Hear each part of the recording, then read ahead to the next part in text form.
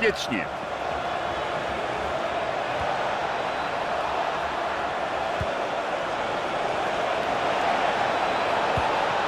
Dembele. Gol! Wreszcie doczekaliśmy się bramki w tym meczu. Długo to trwało. Do końcowego gwizdka nie pozostało dużo czasu. Nie wiem, czy to nie będzie jedyna bramka w tym meczu. Ich prowadzenie zapewne zszokowało przeciwników. Chyba nikt się tego nie spodziewał, a tu proszę, zdobywają gola. Obejrzyjmy tę bramkę ponownie z innego ujęcia kamery.